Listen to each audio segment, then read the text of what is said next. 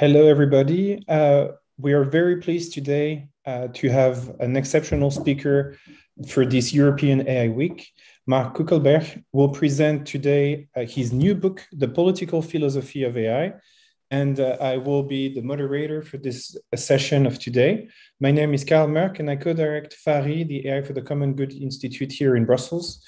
Um, to give you a bit of a forward on who Mark is. So I can only say about the professional side. So he's a professor of philosophy at uh, the University of Vienna, specialized in media and technology. Uh, he's the vice dean of the Faculty of Philosophy and Education. He's the former president of the Society for Philosophy and Technology, and he's a member of the European Commission's High Level Expert Group. And the list goes on. So I selected only some of his uh, most prominent lines. He's an expert, renowned expert in the world on ethics and technology, and in particular on robotics and artificial intelligence. The goal of today is to present his new book, The Political Philosophy of AI. So, in his own words, uh, it's the first accessible introduction to the political challenges related to AI. It's uh, a book that I think will have a significant importance for us in the field of AI because it highlights some of the dynamics, some of the challenges that are sometimes maybe not seen as priority or that are maybe seen as maybe issues that are related to social challenges at large, but that we don't see as maybe key pressing central issues for AI. The goal is really to see how can political philosophy be used to better understand AI and all its challenges.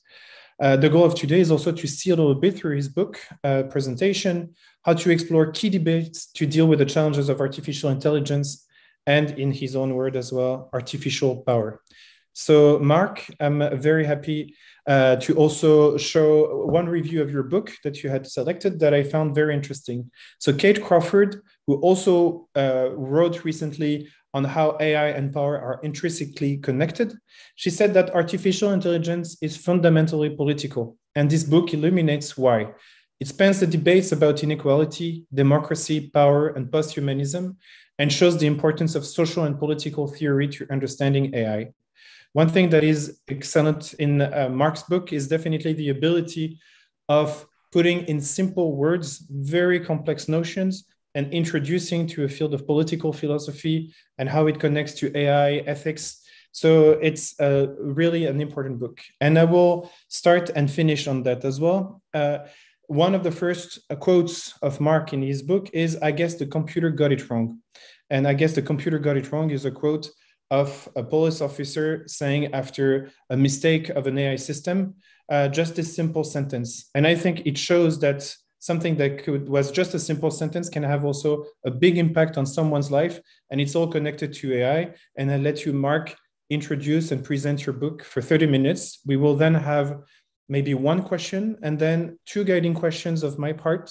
And then we will let the audience as well uh, ask questions. So if you have any comments for the audience please write them in the youtube chat or on the zoom chat. Uh, they will be relayed to us. Thank you very much Hello, good afternoon, everyone. Um, I hope you can hear me well. Uh, I'm very pleased uh, to speak at this event, uh, an important event about AI in Europe. And um, I, am, of course, uh, also honored to present my book here, The Political Philosophy of AI. Let me share my uh, slides. Um, this should. And then now I think you can see my slides. Um, so yeah, um, Carl already gave an example of uh, how AI impacts politics. Um, and uh, so for, for me, it was, uh, I, I, saw a lot of AI ethics, and of course, I contribute myself also to AI ethics work. Um, but I missed a little bit the political dimension in a more systematic way. And, and to do this, I decided to use political philosophy.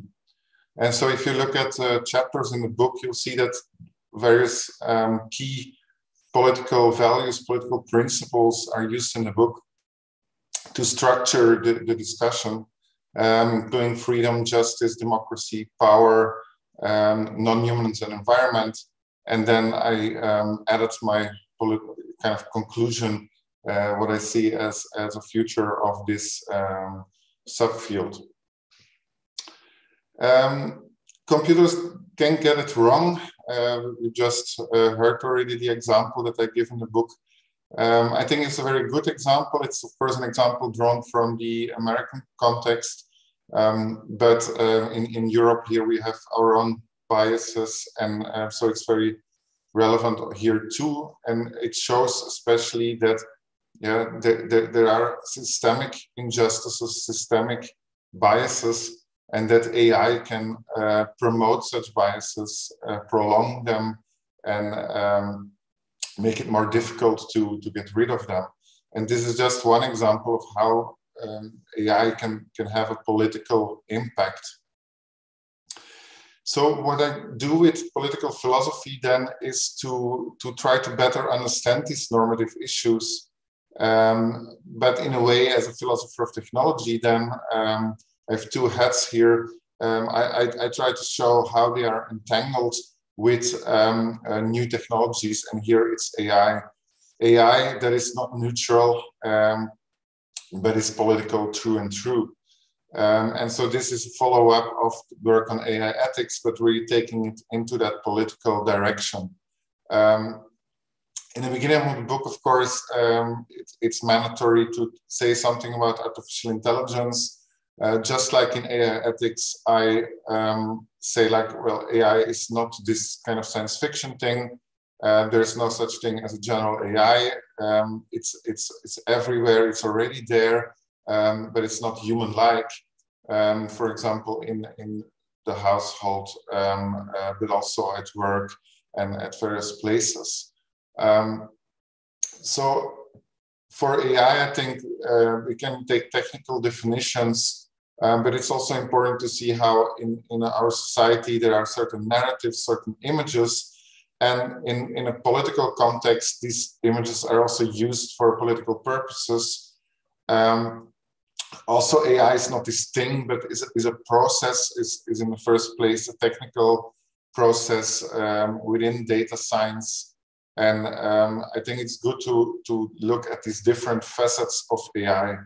But in the book, um, in, in, this book, I, I, really focus on, on the politics. And um, so the first principle, political principle that's, um, that's important in our liberal democracies in, in, in Europe is freedom. And um, I find it interesting to see how exactly AI circumvents human autonomy. It's also a theme that I touched upon already in my book, Green Leviathan, um, that came out last year. Um, but here I, I, embedded in this bigger project and also uh, further develop it. Um, so if we if we see in our uh, society and, legal frameworks, um, of course we all subscribe to freedom. The question is if in practice this also happens in a global context. For example, there is still slavery.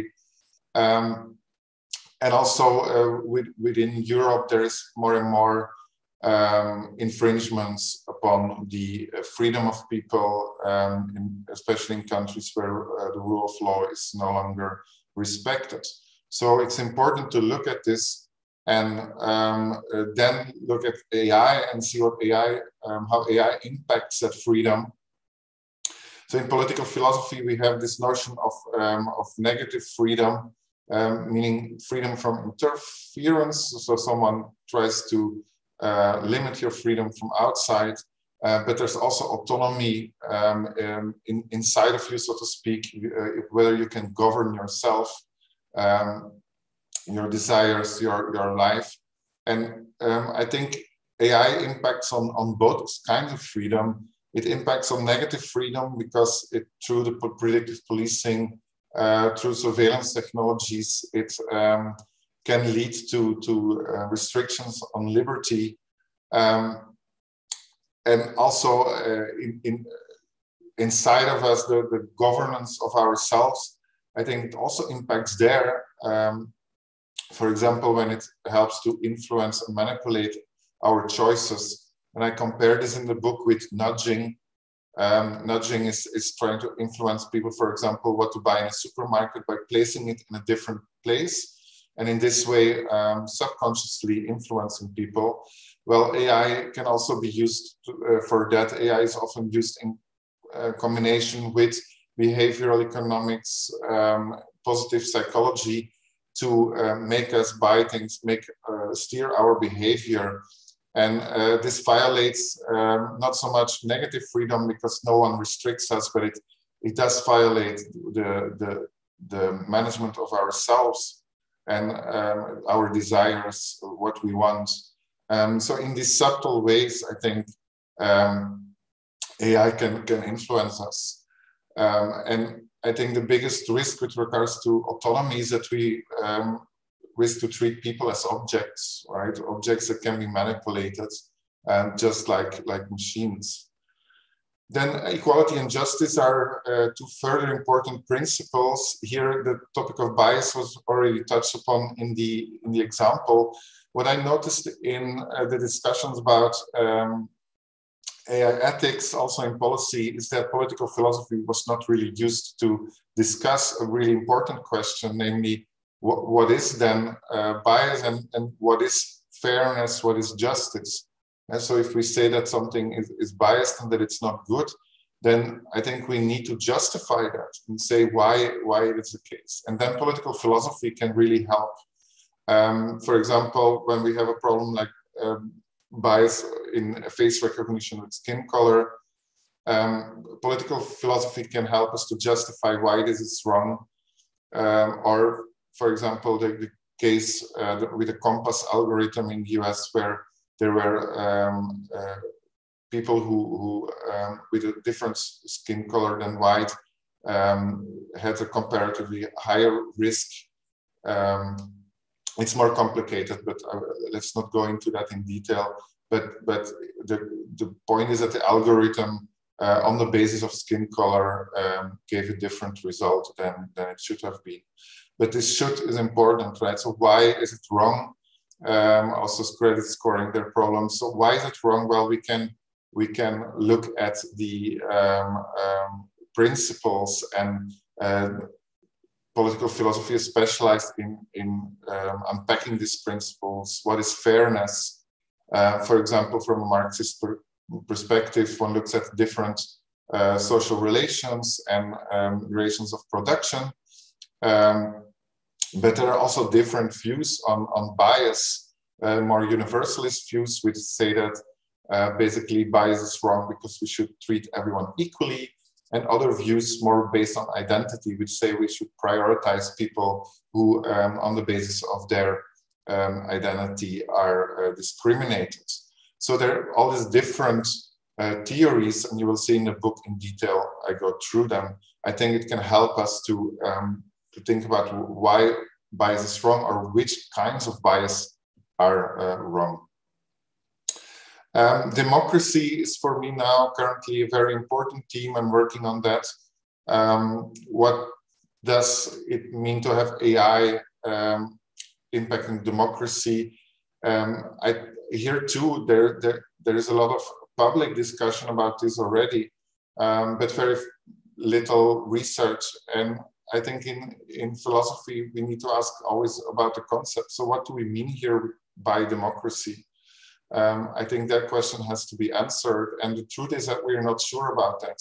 Um, we say that we have democracies, but we're not really happy with them. Um, but we don't really know what, what is the best ideal of democracy. And so philosophers can discuss about this. Um, there are, um, um, for example, ideas about direct um, democracy and their technologies such as say I could help.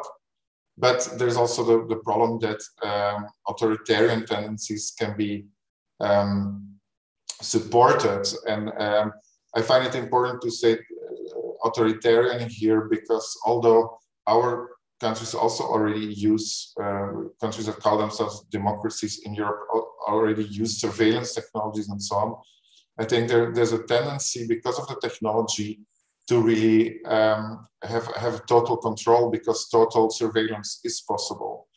Um, and um, this is increasingly problematic especially uh, because it in the end um, really impacts uh, our, our core ideas we have here uh, in, in Europe and in the West, which uh, have ideas such as, uh, you know, we know better our own thoughts and what we want.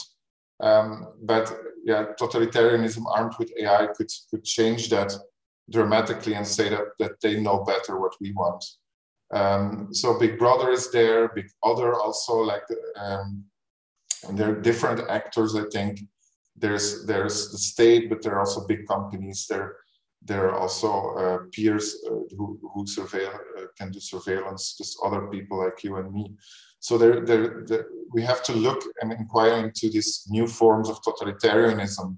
Um, I find it very helpful uh, with regard to totalitarianism to, um, to read Hannah Arendt again, um, who talks about the conditions for totalitarianism. Um, one of them being a social one, loneliness and isolation we have in modern societies, um, but also a lack of trust. And um, I think that when we have already this phenomena, and to the extent that we have this phenomena today, then AI, um, it's, it's, not that AI causes things, but AI makes things worse.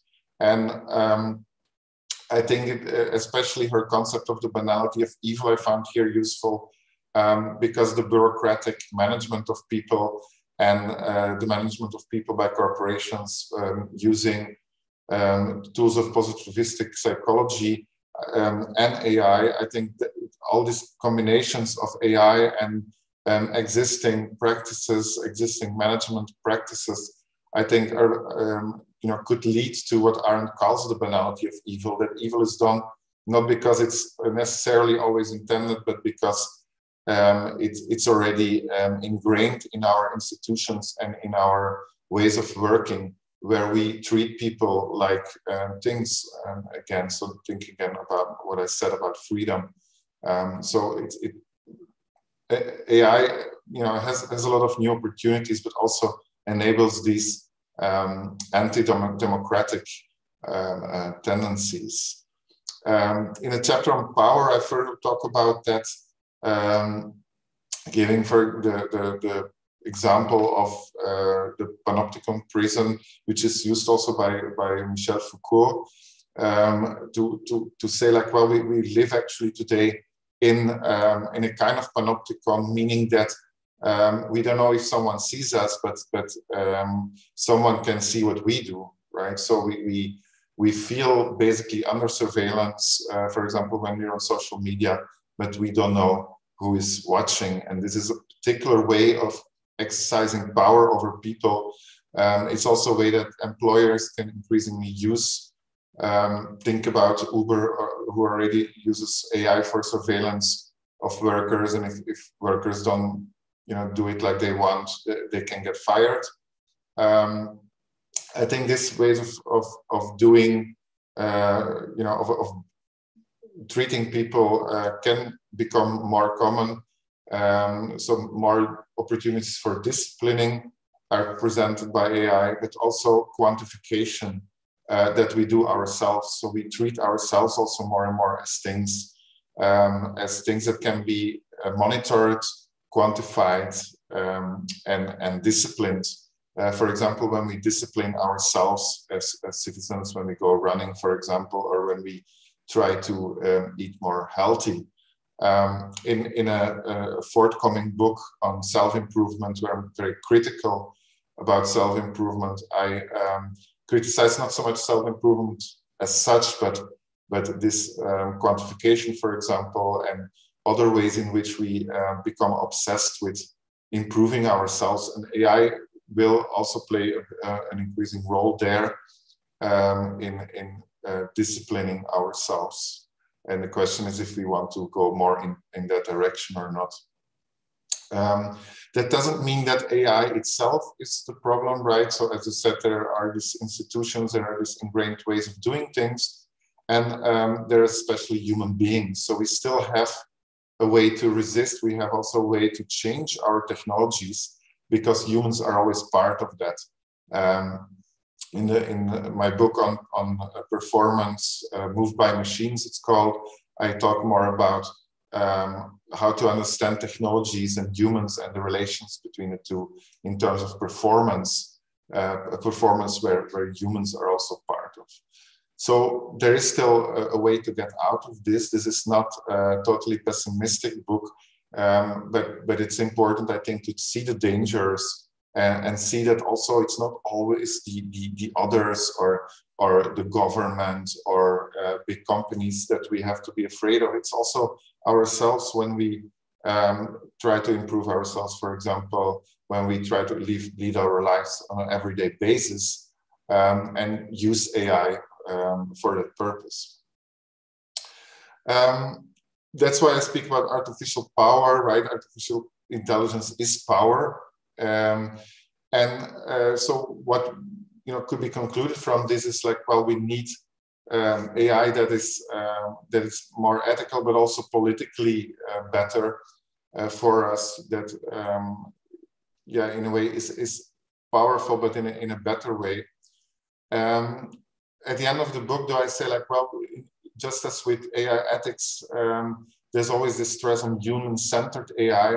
Um, I think the, the you know to do politics of AI should not only be a question of making sure the human comes back into the picture, and humans are not only treated as uh, not not treated as things. I think it's also important to um, uh, look at humans in a in a wider context, in an environmental context, in a climate context, and and also see that there are other beings on this planet, uh, not just humans. So um, here uh, I, I, borrow from political philosophy and post-humanism um, also the, the idea that um, humans are not necessarily the uh, only political subjects. Um, maybe animals can also be given uh, a political status, or some animals. And uh, for AI, I think that means that yeah, we we need to um, to think about about what the impact of AI is on the environment, on um, other beings, and and on the planets. Um, I think it's important to yeah to have an, an ethics that's not merely anthropocentric. Um, so posthumanism is very inspiring there environmental ethics also environmental uh, politics here in this book um, for example Haraway talks about companion species and, and different ways of thinking um, about the world uh, ways that are not so anthropocentric. I think that's very inspiring. Um, in environmental politics there is already for a long time also all kind of uh, concepts around. So I think we can use that um, in uh, politics of AI to make sure that um, human interests are not the only ones that, that count. Um, how exactly to balance human interest and, um, and, and non-human interest is, is of course a challenge. Uh, but again, in political philosophy, we, we find discussions about that. Um, once we, we leave this human exceptionalist and, and anthropocentric position uh, we can then further think like, okay, what does that mean? For example, uh, if, if if our, our if, if, our pets count, right? Uh, um, but there's a situation in which we have to choose between humans and, and pets. What do we do, and so on? So it's not so um, not so easy. On, on a global scale, also there's um, another dimension to this because there are also um, different humans, different cultures, different ways of treating animals. Um, so this is quite challenging, but I think it's, it's a challenge that we cannot avoid in the 21st century, that we should not avoid today. Um, and uh, just like in, in um, philosophy of technology in general, I, I, I uh, defend relational and open ontologies um, for thinking about this um, thinking about the world as as um, as relational and thinking about humans also as relational. Um, because even if you say that humans are the most important, humans are very much connected to other beings and uh, to the planet. So um, if we if we don't take care of um, non-humans and of the planet, then we have a problem uh, ourselves anyway. So um, even in a in a mildly anthropocentric politics, I think it's important to think about that. So for AI, it means like, yeah, we, we, we need to, to think what could be the consequences for, um, for people and planets. Um, I, have been working on that also uh, already in the high-level expert group for European Commission, and um, I uh, I continue to think about this, especially the, the relation with climate. Um, so uh, yeah, it, it can lead to questions, for example, um, like what kind of um, energy use does a particular use of AI incur, and, and can we um, can we have less energy use? Also, of course, the, the opportunities AI um, gives us to um, to better monitor energy use and to to save energy. So there, there are various sides there um, of this this this problem. Um, to conclude this presentation and to also um, uh, note some things from the conclusion, then um, I do think it's it's really uh, good to look at these very traditional topics and less traditional topics such as non-humans um, in the light of AI. Um, so the good thing is that um, thinking about AI in this way uh, helps us uh, to, to think about AI, but also uh, I think in the end helps us to think about what does freedom, justice, democracy um, mean today uh, in the 21st century um, in, in the context of these new technologies um, like AI. Um, I think these, are, these questions will come up uh, increasingly, will also continue to dominate politics. Um, uh, we think that politics is not so much about technology, but it will increasingly be about technology. And um, so it's, it's very important, I think, to um, both at national and European level to, um, to give more attention to it. And you see it already also politically, how, how, how this is starting to shift, how, how more resources and people are working on this. Um, so ahead of us, then I think we need um, European but also global approaches and we need what I call in the political technologies that can help us to create better positive stories in the future. And with political technologies, I mean that, yeah, it's the technologies, but it's the technologies that are also connected to procedures, to institutions. Uh, we need to think about how to reform our current democratic institutions in a way that um, enables us to effectively manage technologies um, but also use them in a positive way towards goals, uh, goals of development, goals of um, environmental uh, well-being, and um, yeah, goals that have to do with with um, with human beings, of course.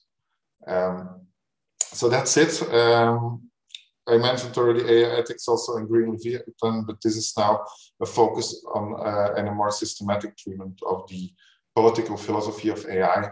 Um, I hope you um, got something out of this presentation. And there's, of course, much more in the book. And I'm looking forward to, to your questions, Carl. Right. Thank you very much, Mark, for your presentation. Uh, it was very enlightening. So I will propose to take one question that I think complement the conclusions of your book. Then I will have one guiding question and then switch back to questions of the audience. We already have some very engaged members of the audience. So a question from Sue N. Thanks for the presentation, Mark. I wonder how far you think the contemporary human rights framework can carry the load of addressing the political challenges you mentioned here. For example, autonomy concerns are addressed through an expansive view of the rights to privacy. So what are your thoughts on that? Mm -hmm.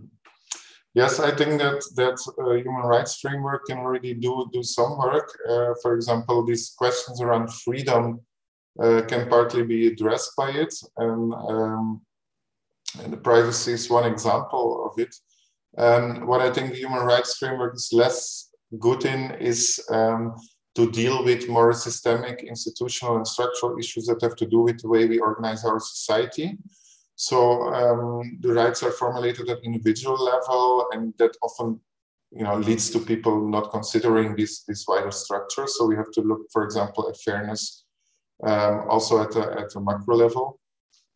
Um, however, I think they, you know, they're one of the tools that we have, and if if pragmatically they are instrumental also at the global level to to um, you know get some things done in terms of politics of AI and and wider, uh, I, I, think it's great.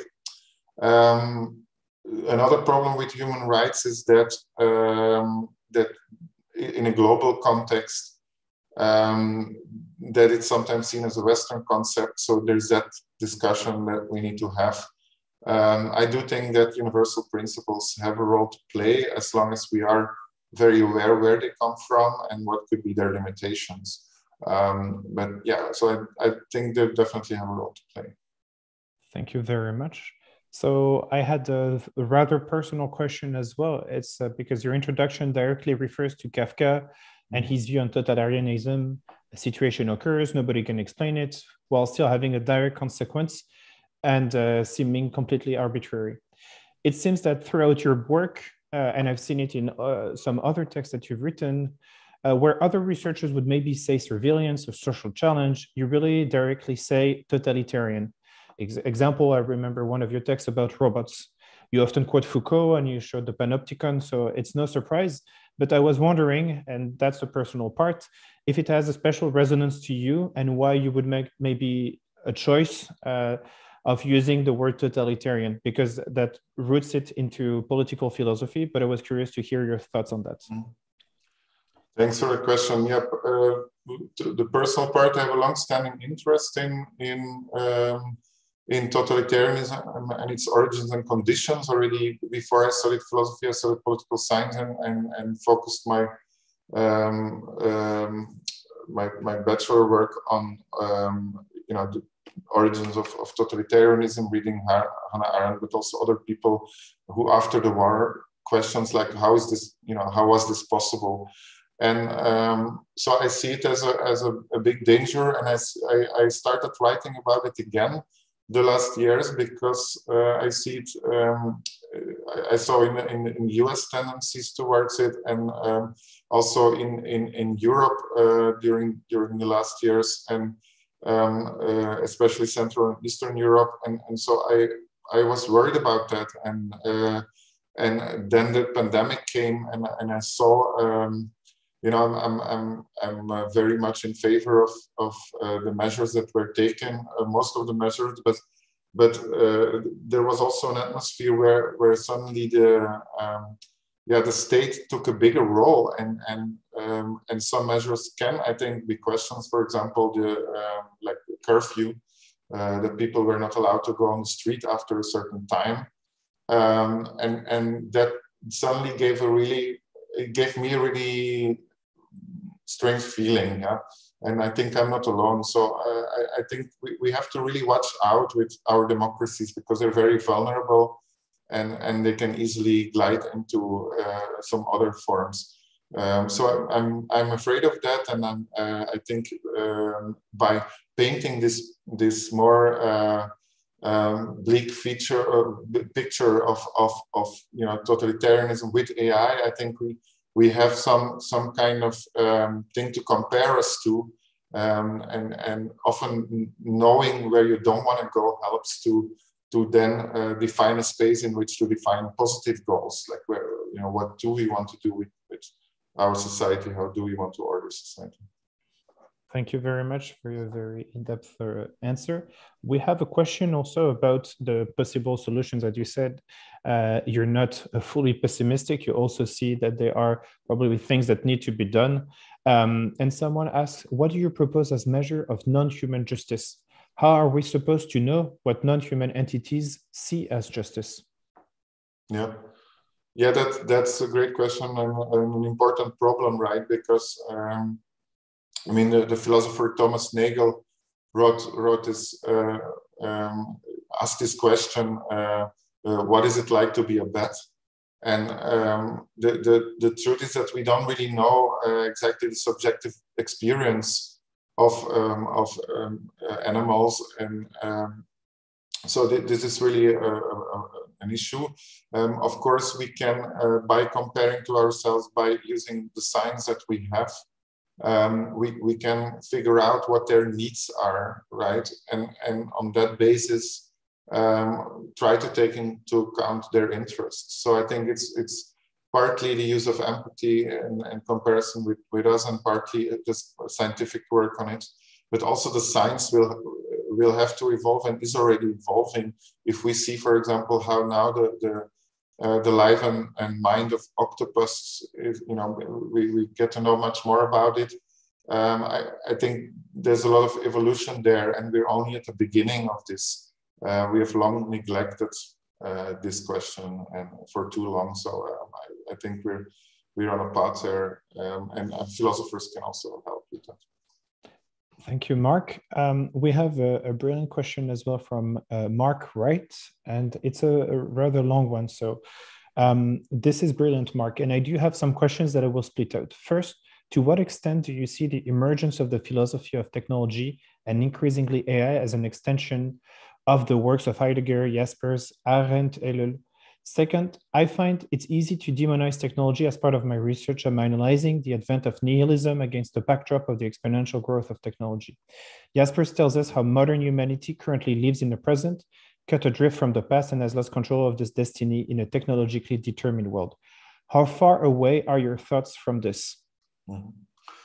Thanks for that question. Yes, I, I, I think it's it's um, it's understandable question because in philosophy of technology there has been this tradition of demonizing technology. And um, I think what I'm doing should be understood differently. So um, I, I, don't demonize technology, and I do think that technology development can be uh, directed in positive ways to, you know, reach um, uh, good political goals. I, I, do think, however, that there are some tendencies in the technologies that need to be studied. And what I learned from Heidegger, for example, is that there is this non intended influence of uh, technologies. And the technology is not just this thing but it's also like kind of embedded in our culture and our ways of doing things. And i've developed that further also with wittgenstein in, in works and things using words and things. But um, yeah so um, the reason why i now um, maybe sound a bit more negative is that um, that of course i find myself um, in in this world where um, where there's a, a, lot of tech people and policy people pushing for technology and seeing it mainly as positive and um, and there's kind of this, this ideology from Musk and others in, in California um, and increasingly Texas uh, to you know to to this kind of solution and techno solutionism that technology can be used to solve our all our problems. And so what I'm doing is also pushing back uh, against that. Um, so so I, I, try to have an, a, a, reasonable middle position uh, there, but um, yeah, the, in, maybe in, in my presentation now I stressed a little bit uh, more the negative sides um, because there's so much of that kind of uh, thinking um, around us in the in the tech world. Thank you very much. Um, I will then follow up with a, a, question of mine that I had for you as well.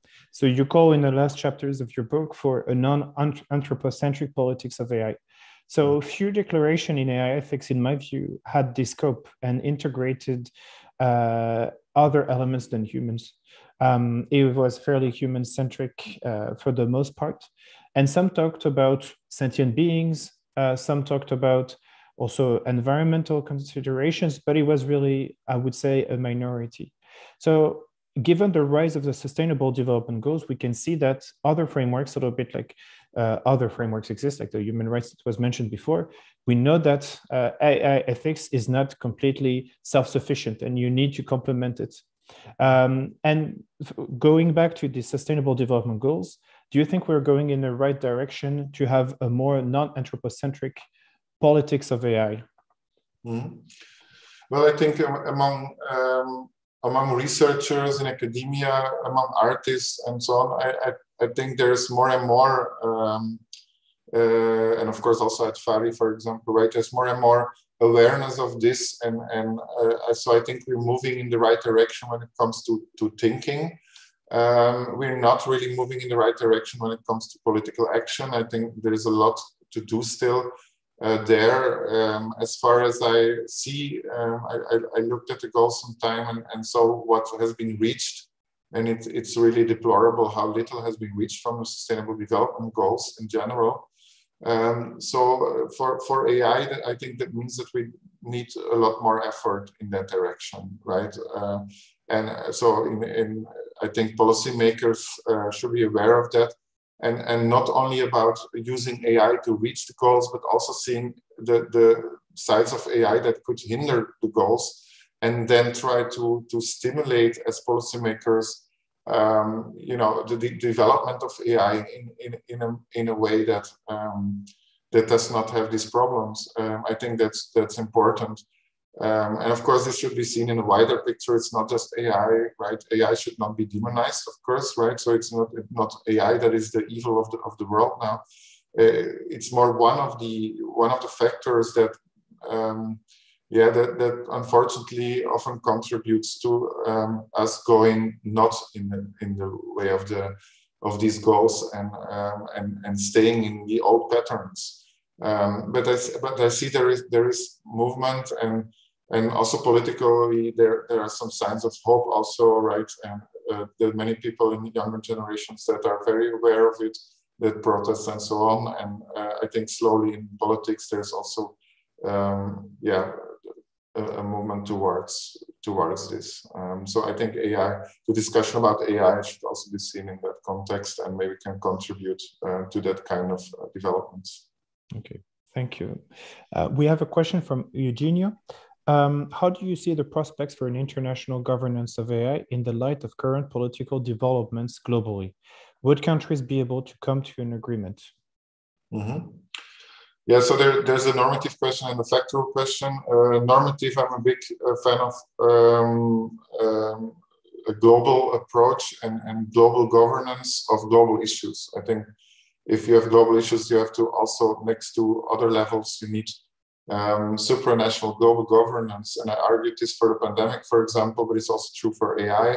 And it's true for, for um, many problems that we have currently, um, also including climate and environment. So um, I'm very much in favor uh, of that, um, and I will continue as an academic to work uh, on, on, that to, to argue for it. Um, the, the, the problem is that the, the reality is very different, that there are a lot of tendencies today that go exactly towards the opposite. Um, uh, there was Trump's America, and there's uh, there's this war, there's um, uh, all kind of um, yeah more um, yeah, directions that that that um, make people fold upon themselves because people feel insecure uh, in this world, which is very understandable. And, and then, uh, yeah, unfortunately, translated in, in a kind of um, uh, folding back in the form of nationalism and uh, and its its consequences. So um, I think factually, uh, empirically, we, we really have a problem there um, but if we look at how after the Second World War, how um, you know how this also very disruptive event, um, how this sparked also an internationalism and more global approaches um, led to the to United Nations and, and, and of course Europe itself, EU, uh, um, and, and other international institutions. I, I think um, we, we can maybe learn from that example and say like, okay, we have all these crises and we have this feeling that the world is insecure, not a good place, but let's do something about that at, at various levels. And I think global level is one of them. Thank you. Um, I had uh, another question from my part because you say that uh, different places that AI is political. You even to quote, you say AI is political through and through. Kate mm. Crawford, also that we quoted before, said also that AI is politics. Um, and I think your work definitely echoes what Gilbert Simondon has been saying about mm-hmm. techniques or technologies, that it's not neutral. Uh, there is the process of invention, the tool itself, and the relations behind it. Mm-hmm. And uh, do you think that people don't see enough that AI is political or do not put forward the fact that there are political elements in it. Uh, was it one of the motivations for your book as well to try to push a little bit more for this vision? Yes, absolutely. So um, I, I continued what I also did in Introduction to Philosophy of Technology, the book for, for OUP. Uh, I, I um, um, already uh, tried to give this message like that, that technology is not neutral. Um, I see recently uh, also people pick up this idea much more. There's a book of this title and so on. Um, and, and, and I think it's really good. And I think for politics, it's also important to do that. And I, I follow Simondon also in, in trying to bring technology and, and human culture together, including politics, right? So that, that technology is not just this thing. And what's also great in Simon Simondon is the, the, the perspective of, of uh, evolution and change and process. Uh, I think we need more process thinking. Um, AI is not this thing, but it's part of a larger pro process, a process that's also social, cultural, and political. Um, and if we understand that, I think we we um, we take technology more seriously as something that that requires our political attention. Um, so th this is also for me, it's a it's a message towards academics um, who don't see this this non-instrumental uh, role of technology yet, but but but it's also uh, a message towards policymakers and citizens to say like, okay, uh, this this should get more attention. Um, AI and other digital technologies are really um, already uh, dominating our, our daily life and and are really uh, shaping our society, our culture, and our, our politics. Um, and so once we get aware of that, the, the idea is not that we are fatalist and say, oh, we cannot do anything more, the machine is taking over, but rather that we say like, okay, let's try to steer this, let's try to, to, to uh, move this in a, in a good direction, a direction that we want, um, direction that we see uh, as, as good, uh, that works towards a common good. Thank you. And uh, so you have a beautiful problem. You're being grilled on the chat by many people asking very relevant questions. So for instance, Yana is asking, if humans give AI its power, what would what would our actions be, the people? How could they uh, complement uh, and implement to take power back? Is responsibility shared to which parts, government, state, firms, the people, individuals? Mm -hmm. Yeah, very good question, um, and I'm very grateful for for all the questions. I think the the um, when we think about it in terms of responsibility, um, for me, responsibility is definitely a distributed thing.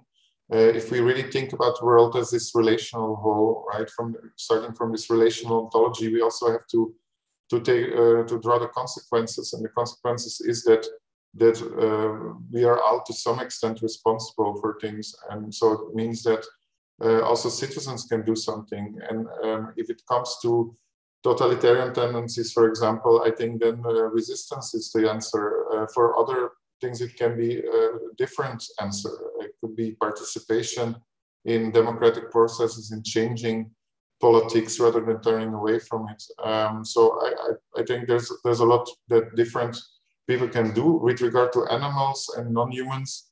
Um, we have to be the spokespersons of um, those animals who don't speak our language, but they speak different languages. We can try to understand them better and um, and try to defend their their interests as much as we can and as much as we can understand them. Um, but taking into account the limitations of that, so being a bit careful maybe about um, about such claims. But but still, I think uh, we have to do that just as we also have to speak for very young children uh, and take responsibility for people who, who for some medical reason cannot um, uh, you know don't have all the, the, the cognitive capacities anymore that um, most of us have. So I, I think we um, we have to do it in that way then. Um, it, it's always I think it's always good to with responsibility to err on the side of taking too much responsibility rather than too little um, I think that's, that's a good lesson for humans as individuals, but also for organizations like companies uh, or for uh, for political responsible people. Thank you. Um, to all the attendees, we will have time for, uh, I think, two more questions. So there are questions in the chat. I will give uh, all attendees a bit more time to ask the final questions as well. Um, I wanted to also uh, ask you another question to follow up on the idea that you mentioned of the lack of trust. Mm-hmm. Um, how to possibly come out because you mentioned uh, as sol- potential solutions uh, the political technologies. Um, can you give us an example of what these political technologies could look like and how and by whom should they be used and developed? Mm-hmm. Okay how it could look like. For example, if we think that democracy is not only about voting once in a while, but is also uh, something that requires the participation of citizens in actually making of the policies rather than only representation. then uh, of course uh, digital technologies can can uh, play a role there and um, it's not so easy to see what exactly how it would look like um, but but that is something we can think about and ai and data science can play a role there by by offering us information which we didn't have before um, but we really need i think a combination there of citizens and experts to to figure out together what does this uh, often statistical information that we get from the, the forms of AI that we have today. That you know, what does it mean? Uh, how to interpret, and what what what does it then imply for for policy in a particular area? Like, for example, if you have more data and uh, good analysis of environmental and climate data, but there, there's there's still a, something to be bridged there. And so, if we could have political technologies in the sense of um, um, a use of AI there that that already helps us to to better interpret, that is more transparent, um, a use of AI that that supports a participative way of doing things rather than centralist decision making. Um, that that could be a way. So it's a combination of technology and institutional change that I'm looking at. Thank you very much. Um, we then have a question from one of your fellow philosophers. Uh, how much influence has Andrew Feenberg uh, on your work, in particular, the looseness around the calling for democratization or technology, mm-hmm. of technology? Yeah, what, what, what I like about uh, work is the critical perspective, of course, and his combination of some Heideggerian influences on the one hand, right, phenomenology, but through Marcuse then, uh, taking it to, to, a critical level and having this uh, this defense of democracy. Um, so I think Feenberg is someone who's already for a long time interested in how to do um, uh, philosophy of technology in this kind of political way, of thinking about what, could be democracy with technology. Uh, how, how could we have democratic technologies? Uh, so that remains very relevant. Um, uh, and you know, when I was president of the Society for uh, Philosophy of Technology, I, I, I, was happy to honor him with a prize at that moment, also for for that kind of work. And there, of course, in the meantime, also many other people that started working on the politics of technology. And um, in the generation of Feenberg, there's also Langdon Winner, for example, is very interesting. Um, so yeah, I think we we have in in in the tradition of uh, philosophy of technology, uh, we have people, both senior people and others, and I I think uh, there, there's um, more and more interest in, in this topic, and I, I tried from my side to to to help to push this topic basically. Thank you. Then we will uh, finish also on, on one question um, about the tension, I think, and uh, between dynamics of power. So you state several times in your book and extensively that um, AI can also enable people and provide power, uh, but also AI uh, in a traditional uh, opposite will also take away power from people because it is used as a political tool uh, to uh, to use power over over people. So how do you reconcile these two aspects? Uh, the fact that it can enable people while it also can be used against these same people. And i think your book provides great um, i think light ways of looking at it but maybe to close with this question can you give us your view on that mm-hmm. yeah so um, an answer that's often given to that question is, is oh, it just depends how you use it. But I think that's that's wrong in the sense that there are these tendencies in AI, and I think the tendencies, for example, facial recognition, um, clearly the way it's connected now with uh, other things and the way it's developed, it it, it supports more centralist and top-down uh, disciplining of, of people. Um, but I think we can um, as citizens, as uh, also tech people and so on, we, we can uh, change the technology and um, we can design it in such a way that, that it can, yeah, that it becomes more democratic. Um, so it, it's not uh, determinism where we, we can we can uh, turn things around. Um, and I, I, see many um, yeah, good tendencies in that direction. Um, because the, the idea would be that that it's not just um, that we're not just doing resistance, but that we that we basically change the technology itself so that um, that these tendencies get get less uh, pronounced um, or, or disappear. So uh, yeah, I think that's a bit the direction to go. But of course, there's still a lot of work to to then figure out what exactly does it mean uh, in particular contexts. Um, I just see that that yeah now policy, for example, with um, facial recognition technologies, yeah, it's still there's unfortunately still a lot of opportunities to use it in a, in a way that's that's problematic. And um, yeah, I, I, think to do something about it takes political action, but also takes action on the part of those who develop the technology and citizens who can push politics to enable that to, to, to try to, to de develop the different technologies. Um, and it's especially important, like now towards the future, there will be always new technologies, right? I mean, we didn't see the internet coming and uh, we didn't see this wide use of AI coming. So I think there will be new technologies and um, I think it's good to already from the beginning um, that also we as citizens are aware that, that we better try to take influence there on how the technology is shaped because otherwise it, it might be uh, very difficult after a while to turn things around. And we see that with the internet, for example, there were a lot of hopes first that it would lead to more democracy, but there's now also a lot of tendencies in the other direction. And um, these are all in the technology, and I think we can, uh, you know, partly there are in the technology, and we, we can try to do something about it, but it's now very difficult. Um, I think with new technologies, we have that chance to um, uh, not only resist but also just change the technologies for the better. Okay.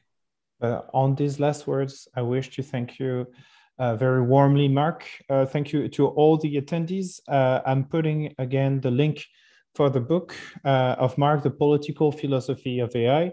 Um, and thank you very much. I wish you a great end of the European AI Week. And I'm looking forward to talking with some of you and don't hesitate to go buy the book of Mark. Have a great day.